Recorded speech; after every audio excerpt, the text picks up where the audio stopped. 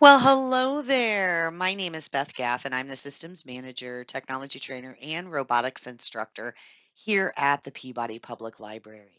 Welcome back to another session of virtual field trips and visits. Today, we're going to be looking at the Natural History Museum in Utah, as well as another link of the Natural History Museum in LA. There are several of them within the United States, including the Smithsonian.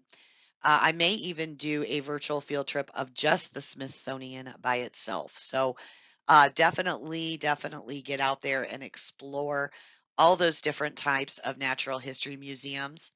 I have also included curriculum and lesson plans for you for um, making this a lesson at home for all you homeschooled parents, or perhaps you just follow the field trips and uh, you want to learn a little bit more. So this would help you get along with that. Um, if you need any further assistance with anything else technology wise, you can always reach out to me here at the Peabody Public Library, and my number here is listed for you. So I do not want to waste any more of our time today. I want to get started on this. Um, I did not explore everything there was on the Natural History Museum in Utah. Uh, so you definitely want to get in there and look at some more of those tours that are available to you as well as exhibits and exhibitions. So alrighty, let's get started with natural history museums, uh, the particularly in Utah um, on our virtual field trips and visits. Well, hello there. My name is Beth Gaff, and I am the systems manager, technology trainer, and robotics instructor here at the Peabody Public Library. Welcome back to another session of virtual field trips. Today we are going to take a look at the National History Museum and I'm going to apologize to you now. I know this is a late getting out on our website, um, but I guess late is better than never and I do apologize. I've been swamped and backed up with so many other items that I just didn't get this out. So I'm happy to be able to get this out and hopefully um, our field trip this month will be on time and on the last day of the month. All right, so let's take a look at the National Museum, uh, Natural, sorry, the Natural History Museum. That's what we're going to do. Um, let's go ahead and click on their site, and I will have this link down below for you so you're able to um, see what is out there for them. So we're just kind of scrolling. Uh, this museum is located in California. So doing a virtual is probably a good idea. Um, let's just kind of look through some of these fields that they have on here. Let's see. So it looks like we can book a field trip if you wanted to go there. Um, but what we want to do today is a virtual one. So let's see if, let's go to experience the museum. And in here, we've got some live theater, uh, nature gardens, exhibitions, and guided tours. Let's start exploring some of our special exhibitions that are on here. Uh, Jane Goodall, who um, was about all the chimpanzees, so you could read up on her. Uh, they have a National Geographic, it looks like. So they have, in this particular exhibition, they have the Dr. Goodall's extraordinary work, Envision Yourself as a Scientist, uh, you can immerse in Tanzania's Stream National Park, hear from a hologram from Dr. Goodall, uh, and look at the National Geographic Society items. So that's all in that one. Let's see what this is. I'm always about videos, so let's see what our video is here.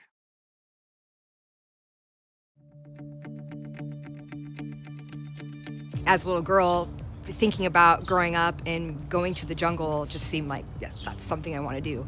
And there was one particular image that really was burned into my mind. It's this picture of her, and she's sitting on a hillside, and it's just her and her binoculars and a notebook, and that's it. I mean, she's just out in a jungle living outside of the limitations that society puts on women. She just seems so adventurous and so cool. Her story is just as cool as her research. For women to be able to do without those expectations, you know, uh, was was it kind of means, well, I can do that too. You know, I don't have to do this or I don't have to do that. I can do what I want to do. She has been a real inspiration for me because uh, she did all the things that I would have liked to have done. uh, traveled to Africa and done the research, and uh, instead I had to live vicariously through her books. I pursued my career in biology partly because I saw women like her that were able to accomplish such incredible things with their research and education. And so my dream job is to work at a museum where I can do things like research and outreach with the public. And it's been really motivating to see women scientists succeed the way that she has. Her research inspires me because she challenged the status quo. Uh, she kind of rethought how research should be done. And um, I think that's an important lesson for us all to think about in regards to our approach to science.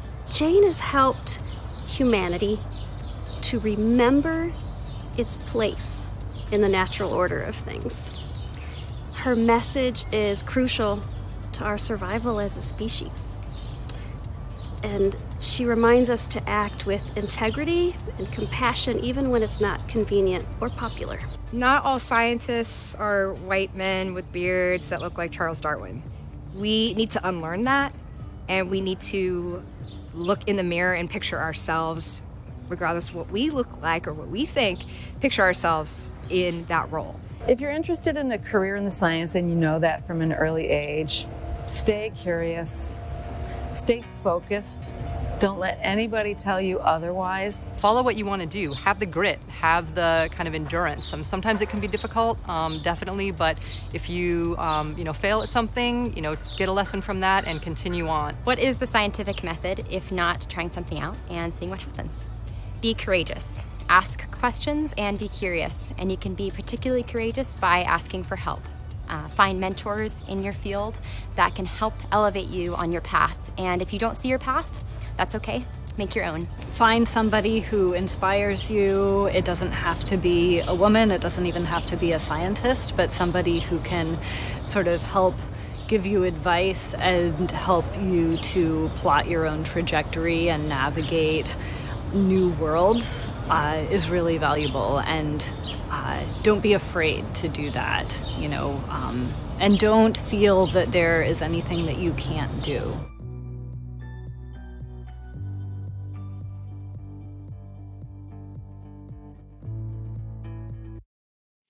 All right. Well, that was great advice. Uh, anybody can do and be whatever they want to be. So, this is a little bit more about that. Uh, here's a message from her, uh, which I'm going to leave for you so you can kind of take a look at that on your own. Let's go back into here. Uh, here's a special exhibition. So, that was uh, the exhibition about Jane Goodall. Let's take a look at this exhibition, Hairy Shiny Insects of LA. Well, that's just creepy. Um, see large, large format photographs of local insects displayed next to life-size specimens. Listen to the sounds of LA's insects across the span of a day. Nice, nice. Join and give so you can become a member. Um, along those lines, they have a butterfly pavilion. So you would be able to, uh, looks like that one is free for members, $8 per person to go into, see all the stages of the butterfly lifestyle or life cycle rather, including eggs, caterpillars feeding on leaves. It includes live animals, very cool. Let's take a look at the nature lab. It's pretty neat here. This is free with your museum admission, so anybody could go in here. This is a hotspot of biodiversity, and you can find this nature all around you. Use the tools of the scientist in our large hands-on lab to discover the incredible stories of the LA Wilds plant life. So this would be if you're actually going to go there. So these are exhibitions. I want to see a virtual field trip. Let's see um, if I, I must have just typed it in wrong. I am going to include that link for you though. Okay, there is a Natural History Museum of Utah. So let's take a look at that. Hi, my name is Jason Cryan. I'm the director of the Natural History Museum of Utah, and I would like to welcome you to this fantastic museum. Before we go explore the inside of this museum, take a look at the outside of the building. This museum is clad in copper mined locally from the Kennecott mine. It's nestled right up against the Wasatch Mountains and has a beautiful view of the Salt Lake Valley. Come, let's explore. As we come up the stairs into the museum proper, you'll be greeted with the sight of our beautiful atrium called the Canyon. This room has a commanding view over the Salt Lake Valley, and also you notice that the walls are irregularly shaped. And that's because they've been scientifically modeled after the mountains just behind the museum building.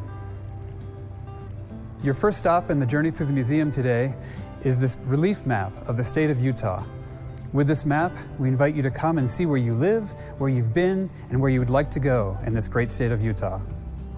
Before we explore the museum exhibits, I wanted to point out our collections wall. Most people don't realize that at our core, this museum is based on research and collections. We have more than 1.6 million specimens in our collections, most of which the public will never see. They're held for research purposes. This wall has 600 of them that we use as examples of all of the breadth of biodiversity, of geological diversity that we hold in these collections. We have an app called the Trailhead to Utah, which gives you all kinds of information about this museum. Let's listen to what my colleagues have to say about this collections wall. The collections wall is designed as a work of art and it's meant to show how extraordinarily beautiful nature can be. What makes our institution special is our, our collections. It's our heart and soul. It's our at our core. Butterflies with fossils, fossils with plants, prehistoric pots. The baskets represent extreme work and labor. Insects are pink and chrome color and black and brown and fuzzy and striped and polka dotted and they're more beautiful than jewels. Thanks very much for joining us today. You're in for an exciting visit. I invite you to continue your exploration by selecting some of the videos below. We can't wait to meet you in person on your next visit to the museum.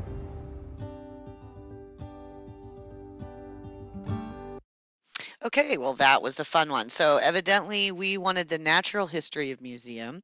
Uh, however, I am going to include um, let me go back. Yeah, I am going to include this natural natural history museum from LA County as well because it looks like it's going to have a lot of beneficial information.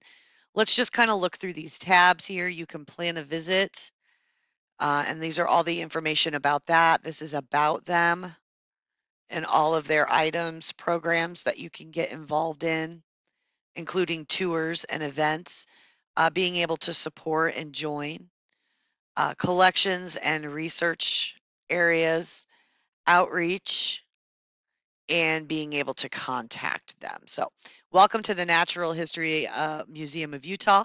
The museum is an active research institution and one of our state's top visitor attractions. Each year, the museum hosts approximately 300,000 guests from around the world, including 40,000 students visiting, visiting on free field trips. We are proud to share our virtual field trips with you. Listed below, you'll find virtual experiences developed and led by our expert scientists and educators. Here you can visit our permanent exhibits, our current special uh, exhibition, and our past special exhibitions. During the time of the museum and the school closures, we are happy to provide students and lifelong learners with a taste of all the Natural History Museum of Utah offers. So uh, they have a backyard. The background ba- backyard is an intimate discovery-based environmental design for younger museum visitors to experience the natural history firsthand. Entering the exhibit Guests will come face to face with live animals and insects native to Utah and explore an underground crawl area and get their hands wet in the stream play. You've got the past worlds. This is a journey through millions of years of Utah ancient environment. Uh, the Great Salt Lake. This is um, the once massive lake, which stretched 300 plus miles at the end. So you're going to learn all about the Great Salt Lake and the surrounding. Uh, First People exhibition. They have land, life, and native voices. And then here is an, a few archived ones. Um, so let's just kind of see what we're working with here. Let's take a tour here. And it really just depends on how long. So this is for the younger kids. This one is seven minutes long. Let's go ahead and watch this video. You can watch it with me or you can watch it on your own. Hi, and welcome to our backyard at the Natural History Museum of Utah. Here, we invite our youngest visitors to play and explore. What will you discover while crawling in the tunnel or floating in the stream? What will you find chomping in the trees or living in the walls? Welcome to our backyard. Our backyard is home to over a dozen animals, most of them native to Utah. Here you'll find amphibians, reptiles, insects, and arachnids. Sometimes you have to wait and look closely to spot them. Let's learn more about some of these animals and how we care for them here in the Critter Care Room.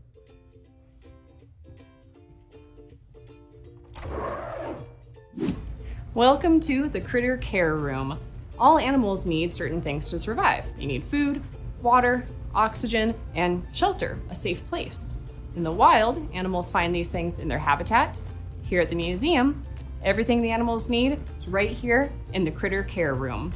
Most of our animals here eat crickets or vegetables or mice, so we have a place for those, full of all of those yummy goodies. We also make sure that the animals get fed the right number of times. So when our volunteers come in to feed the animals, they keep track on our critter care sheet. Did each animal get enough food, water? Was their enclosure cleaned? Was their temperature correct? Everything the animals need to stay safe, happy, and healthy. We also have animals that live here. When animals are on display all the time, that can get exhausting. So we have other animals that can substitute for them, and the animals on display can take a break. We also have ways to get into the animal enclosures from here in the critter care room.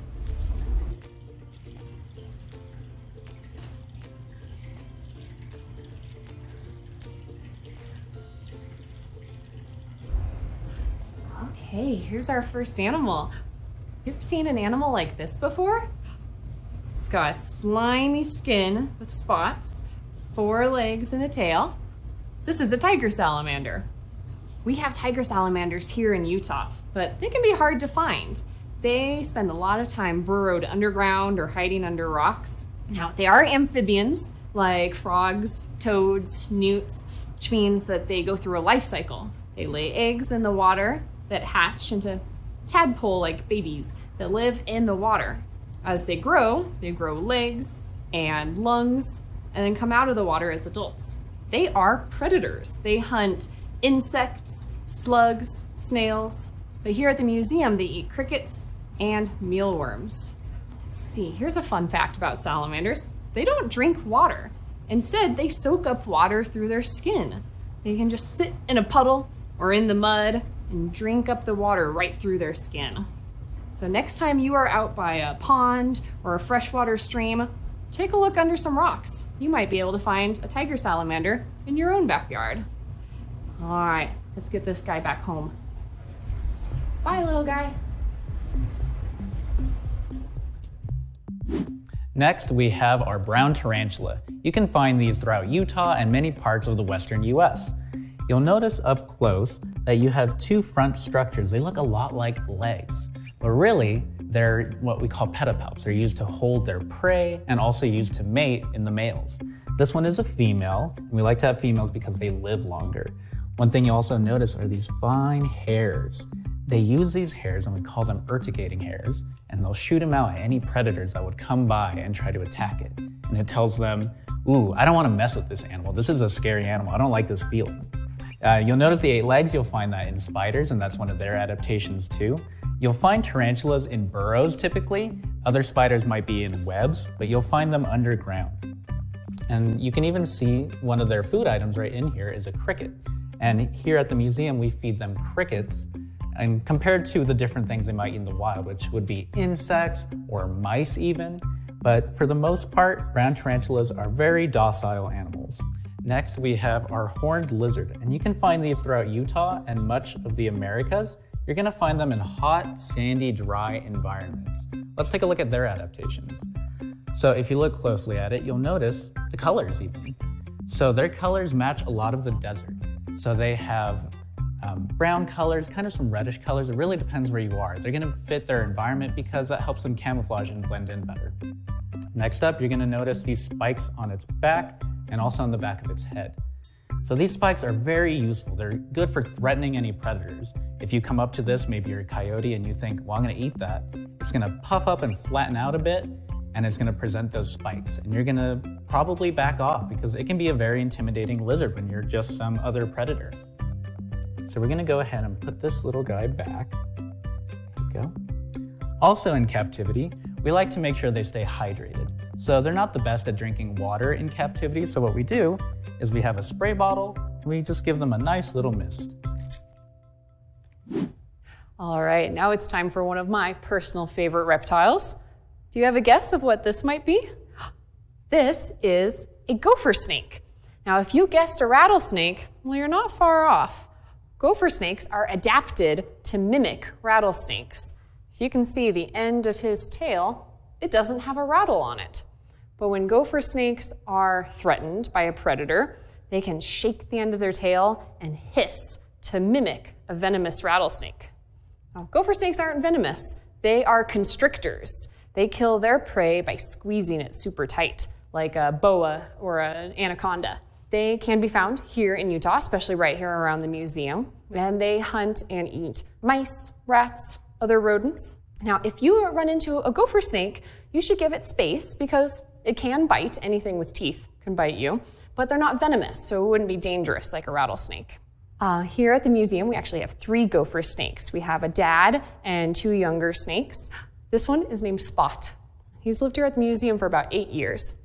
Here's an odd thing. Here at the museum, we feed our snakes about one mouse every two weeks. That might not seem like very much, but that's what they need to stay healthy. Snakes are adapted to only eat when they can catch their prey. So if we fed them more mice more often, they wouldn't be very healthy. All right, I think I'm gonna go ahead and return Spot back to his enclosure. Bye-bye. Thanks for exploring our backyard and seeing some of our animals here at the Natural History Museum of Utah. Now it's your turn. Go explore your backyard. What animals and plants can you find there? I think you'll be surprised what you can discover. Till next time, thanks for exploring our backyard with us. Bye-bye.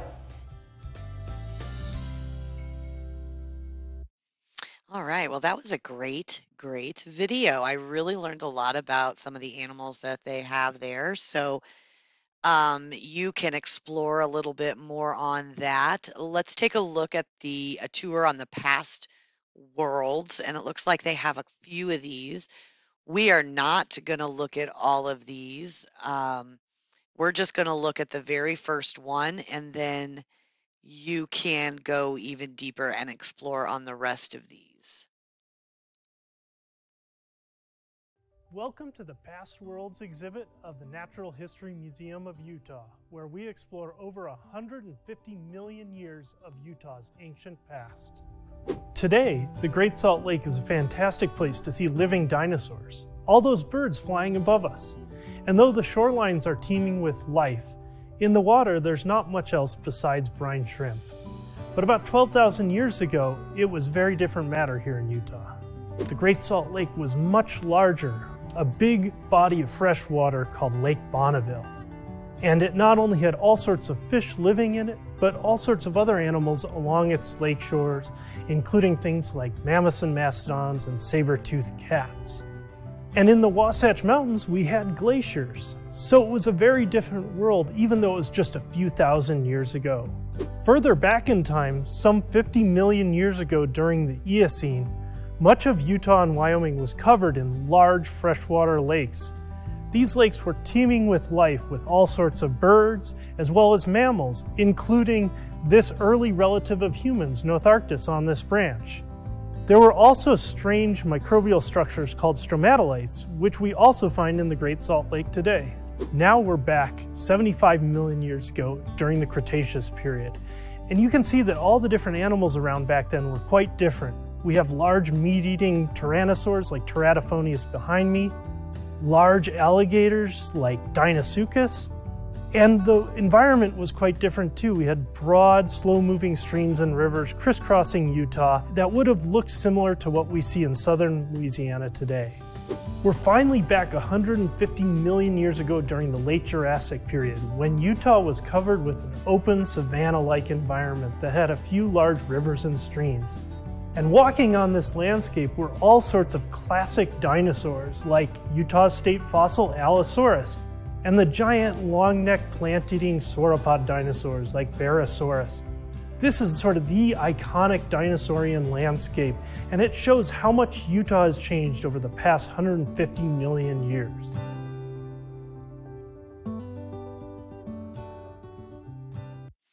All right, so that just gives you a little bit of a highlight, but they have a lot more exhibits that you can check out on your own. We don't want to make this class a two hour class, so we're going to try to keep it as minimal as possible, but uh, you can explore a little more in that area. Let's check out tours from the Great Salt Lake. They do have a few of those. Uh, let's just watch the first one here. Hi everyone, welcome to the Great Salt Lake exhibit, where we're going to be learning more about how the lake has changed over time and its significance to modern life. But to start our explorations, we'll need to go back millions of years to the Pleistocene epoch. The Pleistocene lasted from 2.6 million years ago to 12,000 years ago. This epoch experienced the most recent ice age and features animals such as mammoths and mastodons. Along with these distinctive large land mammals, the Pleistocene hosted many species still alive today, such as some birds, mammals, flowering plants, and insects. The end of the Pleistocene saw the extinction of many large land mammals, such as the mammoths. To learn more about this topic, make sure to check out our videos from the Past Worlds exhibit. An important feature here in Utah during the Pleistocene was Lake Bonneville, an ancient lake that formed about 32,000 years ago. This lake was much larger than the modern Great Salt Lake. Lake Bonneville spanned about 325 miles in length, reaching into Idaho and down the western side of Utah to about Milford. It stretched out covering the West Desert and came all the way up here to the Natural History Museum of Utah. Here, we would be standing on the shores of the lake, you can see on the map here an outline of where the lake would have been compared to where we are today. Lake Bonneville was home to many animals, including fish, birds, and mammoths. Unlike the modern lake, Lake Bonneville was freshwater, not saltwater. The lake was fed by precipitation, rivers and streams, and even melting glaciers. This freshwater was able to support a different scope of life than the saltwater from the modern lake. Take a look out your window. What do you think your neighborhood looked like during the Pleistocene? So how did Lake Bonneville become the Great Salt Lake we all know today? Over thousands of years, Lake Bonneville experienced multiple flood events that broke through natural dams in Idaho, lowering the water level in the lake. Combined with this, Utah became warmer and drier than it was during the Pleistocene epoch. As climate changed, the lake experienced more evaporation and continued to shrink in size. As Lake Bonneville shrank, it left behind multiple remnants, including Utah Lake, Sevier Lake, the Bonneville Salt Flats, and of course, the Great Salt Lake. The Great Salt Lake exists in the lowest depression of the Great Basin. The Great Basin is the watershed we live in that spans almost all of Nevada, much of Oregon and Utah, and parts of Idaho, California, and Wyoming. Due to the location of the Great Salt Lake in the lowest depression, it is a terminal lake, meaning that water flows into the lake, but no water flows out of the lake. This is what causes the lake's signature high salinity levels. All water has some salt, but freshwater typically has very little. The water flowing into the Great Salt Lake has very low salt levels, but as the water continues to evaporate from the lake, the salt level, or salinity, becomes more concentrated or higher. This high salinity creates a home for animals and plants with specific adaptations, such as saltgrass and brine shrimp. Now you may be asking yourself if the lake is finished changing. And it isn't. The lake is constantly undergoing change. And will continue to do so into the future as the industry changes around its banks and as climate change continues. Modern day changes can be observed by noticing the level of the lake. The most recent flood from the Great Salt Lake was in 1983, when there was so much water that some of the streets of Salt Lake City were turned into rivers. Another place to observe the water level changes is the Spiral Jetty. The Spiral Jetty is a land art by Robert Smithson, created in 1970. Over the years, the lake level has sometimes covered the art piece, but right now it is above water and can easily be visited. Another way to see how the lake has changed over time is to look for the microbialites. Microbialites are large, bulbous, sedimentary rock formations created by blue and green algae. These formations used to be commonplace in environments millions of years ago, but now only grow in extreme environments, like the Great Salt Lake, due to grazing animals. Microbialites would not have existed in Lake Bonneville due to the freshwater, but the Great Salt Lake is the perfect home for microbialites to thrive in today because the high salinity levels decreases the number of other animals, plants, and algae that might compete for space or nutrients. Microbialites are one more piece of the puzzle that scientists study to understand the way our environment has changed over time. Okay, so that was all about the Great Salt Lake. There is another one that uh, you can watch to keep going on that. Uh, let's take a look at First Peoples. Looks like there's only one video, and I am not going to watch that. I'm going to leave that for you to watch on your own. Uh, let's see what other ones they have here. We've got land, several videos on land.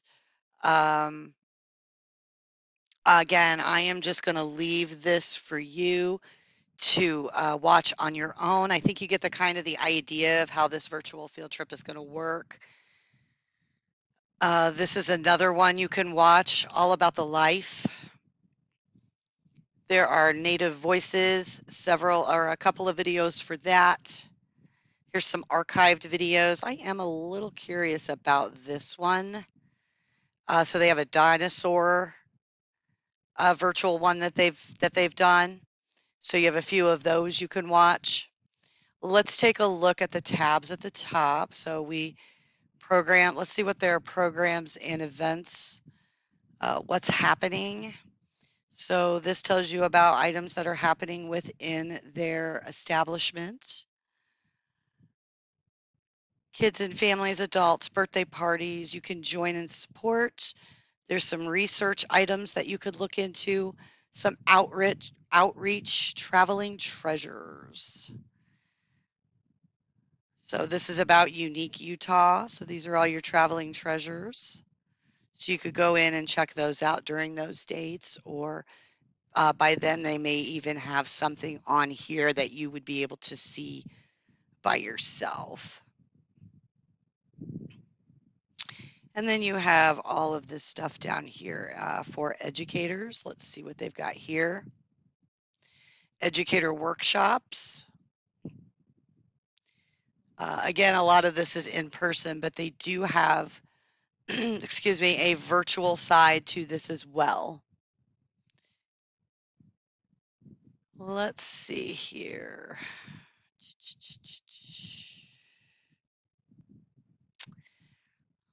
Right, and it looks like, I don't know if I have any lesson plans,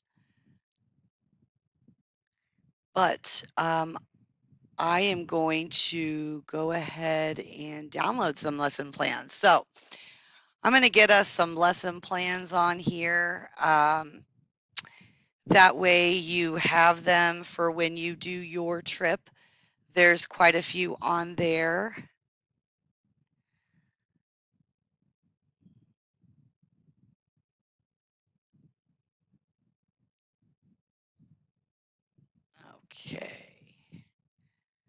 I was just going to go see if I could find that in my purchases now. Okay. I will mess with that later, but I am going to have some items on there for you for the natural um, history of museums. So you're able to have some pretty cool um, curriculum and lesson plans available to you that you're going to be able to download for free, um, as well as I'm encouraging you to explore out. You can also like their page on Facebook. so you can get some of the most updated information that they have. This is the one in Utah. Um, again, I would encourage you to explore to see if there's other natural history museums. We obviously found one that was in LA, which I'm going to include for you. This is not virtual, however, they do have a lot of um, educational resources on there. All right, you guys. Well, thank you so much for being a part of our virtual field trip today. I'm going to make sure to get those lesson plans on there for you. Um, make sure you venture out to some of those other tours that they offer on here. I just didn't want this to be a two hour video. It's really about you exploring on your own. And I was just kind of guiding you to get you going. So hopefully this starter video got you going and you were able to get out there and explore even more. So thanks so much for being a part of it. I want to thank uh, the Natural History Museum of Utah as well as LA for allowing us to use their websites. Uh, Screenomatic, of course, like always, Google for all their images, uh, and Microsoft for allowing me to use PowerPoint to make the videos for you. So, all right, you guys, thanks so much. I will see you next month um, with another virtual field trip, and this time it will be on time. So, thanks so much. Have a great one. Bye.